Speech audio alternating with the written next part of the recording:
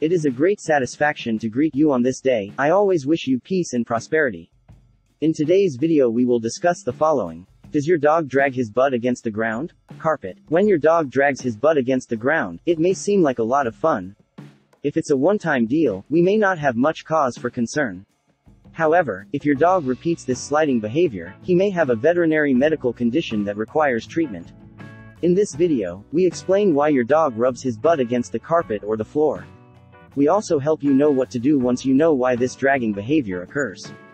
1. Your butt itches. Dogs do not have flexible limbs in the same way as humans, nor do they have flexible toes on their paws. This means that they have to use other methods to manipulate their environment and even themselves. Sometimes this requires maneuvering their bodies in different ways to perform certain actions. They scratch their ears with their hind legs or bite their hind legs with their mouth to relieve itching. When it comes to their butt, dogs cannot easily reach this area with their mouths or paws. For this reason, if your butt is itchy, you will have to scratch. By rubbing their butt against the floor, they can better scratch that itch. 2. To clean up. This occurs most often in dogs with long hair. When the dog defecates, the stool may adhere to the area around the anus.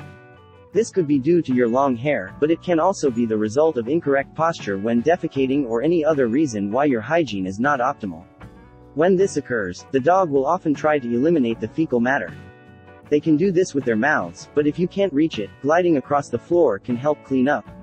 To maintain the hygiene of both the dog and our house, it is important that we inspect the dog after he has defecated to make sure he is clean. 3. Parasites. Parasitic infestation is one of the most common reasons why dogs rub their bottoms against the carpet.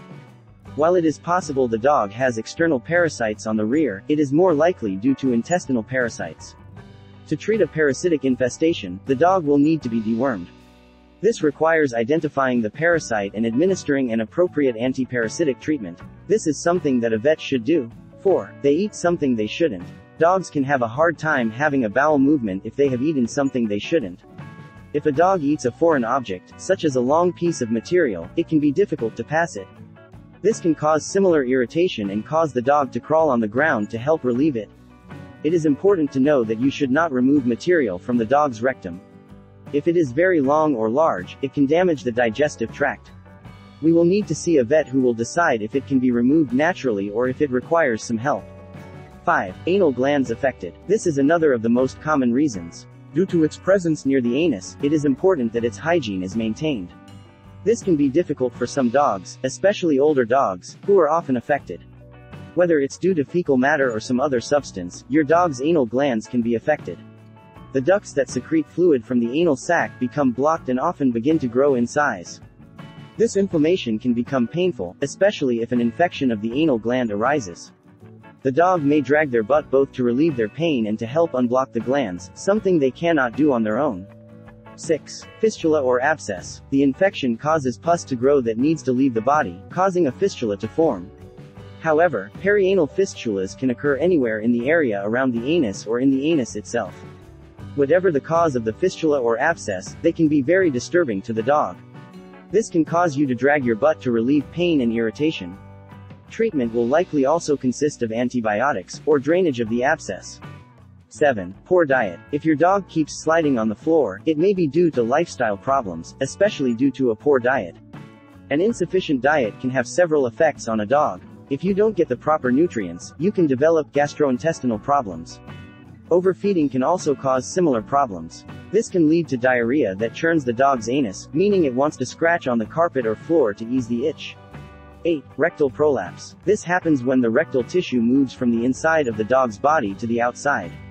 It can be a very painful and worrying situation for the dog. Other reasons why a dog rubs his butt against the carpet. Although we have covered the most important factors above, there are other reasons why a dog may drag its butt on the ground. If they have a traumatic injury to the perianal area, it can cause discomfort. They can try to alleviate this discomfort by dragging their butt across the floor. Also, if the dog has a tumor on the skin around its perianal area, it can cause it to move for similar reasons. If we are unsure of the cause of why a dog is rubbing its butt against the carpet, we should take it to a vet for proper diagnosis and treatment. Develops your dog's hidden intelligence to eliminate bad behavior and create the obedient, well behaved pet of your dreams. Hit the instant access button below right now and start your journey to a having an amazing obedient, highly intelligent dog today. Do not forget to subscribe to the channel, comment, and share the video, you are very well, thank you.